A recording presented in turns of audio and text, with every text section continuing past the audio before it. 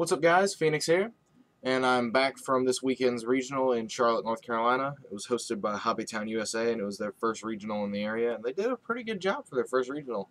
The event could have been better, but it was a really nice, you know, location overall in terms of, you know, we were able to go outside, and there was like a pond with, font with like fountains out, and it was just really nice and surreal and relaxing in between rounds, uh, being able to go outside and just be like sitting in front of a pond and and having nice cool breezes and things right next to the event hall. So, all in all, really good weekend. I ended up coming in uh, 14th place. Um, and I played uh, Dragunity Rulers. I played the ruler variant. I literally made the switch at like 8 p.m. the night before the event, um, before I started my drive up there to you know stay in the hotel room that we had across the street from the event. Um, and then I literally I made the decision to switch at like 8 p.m. and then I swat I switched everything over when we got to the hotel wrote out my deck list, played, drew some test hands, and put together my janky side deck, and decided, you know what, I'm just gonna win because I'm better. Uh, so it's basically this build is a pretty standard, you know, just build based off, you know, what Patrick Hoban had been running. I've been talking with Patrick a lot. I talked with Tyree Tinsley, who was also at the regional. I talked with him a little bit. Um, got some ideas for him on how to change it up and all that, but all in all, I'm happy with how the deck performed. Um, there's certain things that I would change um, in hindsight, but I mean, who is what? Who doesn't have that? Um, but anyway, there's uh, eight, 17 monsters, the uh, three Dux, and I've run the one Zephyros. Uh, a lot of people do not run this card. In fact, I feel like I'm the only one that run this runs this. Um, when I played Tyree, though, he he liked what I was doing with it.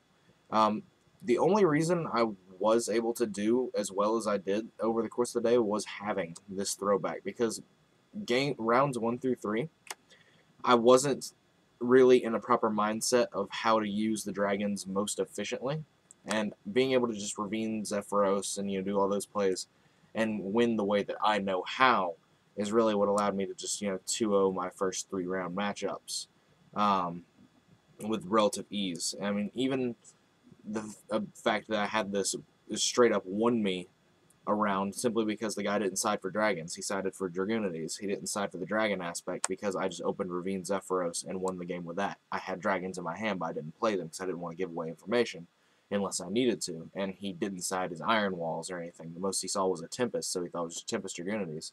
So having this in allows you to do things like that, and it lets you take advantage of people that don't really know what they're doing as much.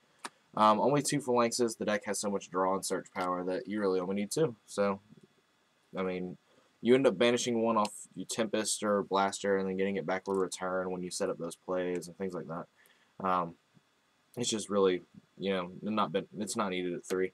Uh, same with the Mystletainn, you only need one because it's so heavily searchable and the deck has got so much draw power and it's bad in a lot of bad scenarios. Like if you're already losing, you don't want to draw this card. Um, it just makes things a little bit more complicated. Um, only run nine dragons, three Redox, three Tempest, and the three blasters. And then I run the one Red Eyes, which I've also seen a lot of people cut, but running the Zephyros in here lets me run the Red Eyes as well. Um, if I go second, uh, in, you know, if I win game one I'm going second, I'll generally set out the Red Eyes and the Zephyros because I want my Dragon Engine to be more, you know, beneficial, and I need to make room for more side deck cards so it just, and then they go in back in game three, whether or not I'm going first or second. At least the Zephyros does. Um, Red Eyes is usually depends on the matchup. But anyway, there's uh, 15 spells, 3 Dragon Ravine, 2 Terraforming. As as I've said, this deck has massive draw power. Uh, 2 cards of Consonants. You only have 2 phalanxes, but they're so heavily you know searchable and, again, draw power. This deck has a ton of it. Um, that they're almost never dead, but there's a a couple changes I'm going to make to the deck, like adding in a Flambeau card and things like that, that'll make it better. Um, three Sacred Sword of seven stars. This card is amazing. This is the sole reason why I like this deck. The main reason I wanted to play it was simply because of the fact that the deck has Pot of Greed. Like, there's no reason for a deck to be able to abuse this card as much as this deck can. Um, any other deck with seven stars is a one for one, but this is, you know, a plus one. So, and being able to just give you extra cards in hand to fuel for Ravine and all that is very, very beneficial. Um, I ran the three Upstart Goblins. These are coming out. These are coming out guaranteed. I don't like them in this. Um, I've said that before, but I, I, I just ran it because it was what I had on me. Like, I didn't have enough cards on me physically to uh, to build the deck the way I wanted to, so I just went with the standard, you know, what I had. Um, and that'll be, you'll be able to see that more with the side deck and all that. Um, because the side deck could have been a lot better. Like, I basically had no, almost nothing sided for the mirror and that's what ended up losing me round 8 and 9 because I went undefeated the first 7 rounds, then I lost round 8 and 9 to the mirror um, because I just didn't have enough resource to play with because I didn't have anything sided for it because I didn't have anything with me. Um, but anyway, other than that, uh, Upstart is coming out for just more, you know, good cards, because this got me into so many awkward scenarios, like, I would have Ravine Zephyros in hand, and I'd have, like, an Upstart, I'd have like a seven star sword, and I'm trying to make the seven star sword live. I'm like, okay, cool, I've got nine dragons in my deck. I can draw into one of nine of them and make the seven star sword live, and I'd upstart goblin into like the red eyes or something, um, which is not bad, but it just forced a lot of weird scenarios. Um, especially like when I was going into like having to play in the back row and things like that. It's just it was it was not nice, and there were there was games where I played an upstart, and I was only able to hit for 84, and I had to struggle to get that last bit of damage in because it allowed my opponent to reestablish. It was just weird. Uh, and then for one, I was Book of Moon and the Gold Sark. Book of Moon is really good. It just lets you set up Crimson Blader plays all day, um, which is what ultimately gets you a lot of your games. Um, and there's eight traps, the three recklesses, which I absolutely love. The upstarts are going to be coming out, but the recklesses are staying. They just give you so much advantage um, with the, all the draw power the deck has, even without the upstarts, you get into multiple recklesses. There are plenty of times when I didn't open any upstarts and I got into triple reckless, and it's just like, it just lets you unfair. Um, you have to be very smart with how you play them, though, because it is possible to lock yourself under reckless um, with like minimal resource, and it doesn't really help you. Um, two vanity because this card is absolutely wonderful and it is unfair, and it just lets you win the game for no reason. Um, I won an entire game. I won a game against um, against what was it?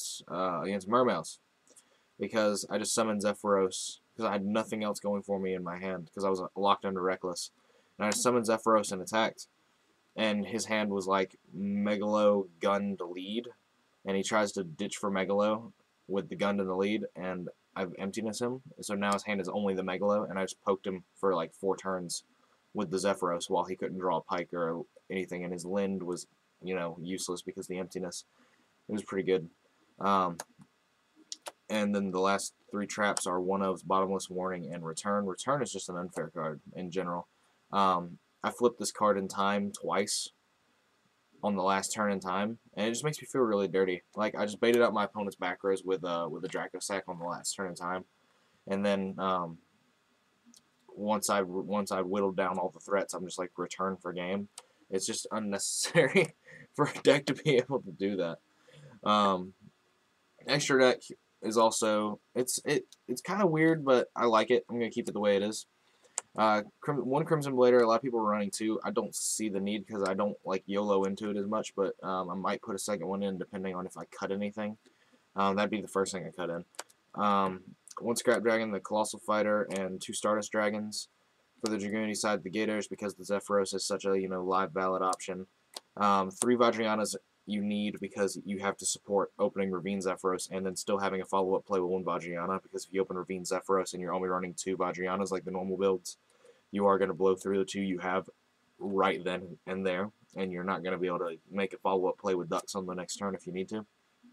So, it pretty much clogs the extra deck that way running the Zephyros, but other than that, it's worth it um, being able to just win better with the Dragunity side if you don't draw any dragons is also nice.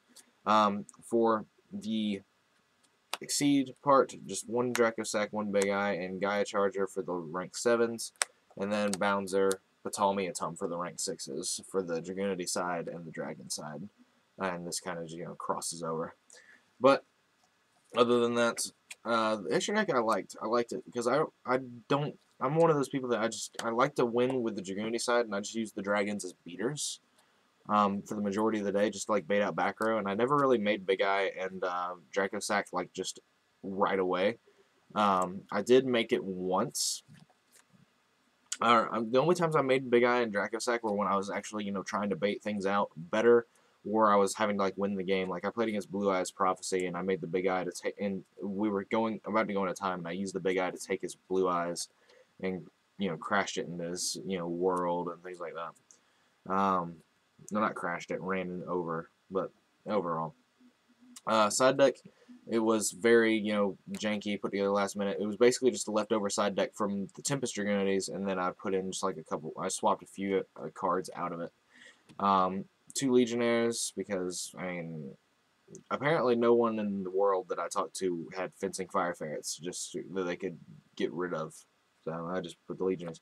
Um, two Veilers, and uh, I didn't have my Maxx C's with me, so I wasn't able to side those, and it pissed me off because I needed them against the mirrors around uh, 8 and 9.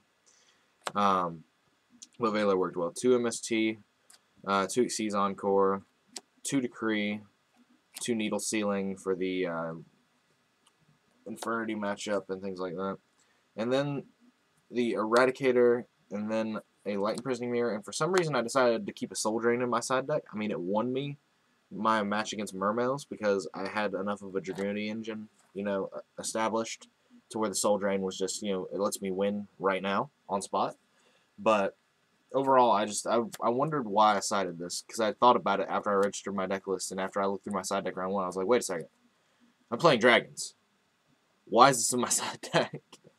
um, if if I had my Maxis with me, these two cards would have definitely been um, Maxis.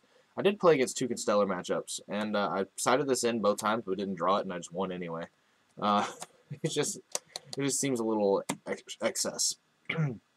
but anyway, that's the uh, deck list for you guys. Um, I'm gonna do a completely different video talking about my uh, tournament experience and doing a regional report because it's gonna be fairly long because uh, I just I like to go into detail about this stuff.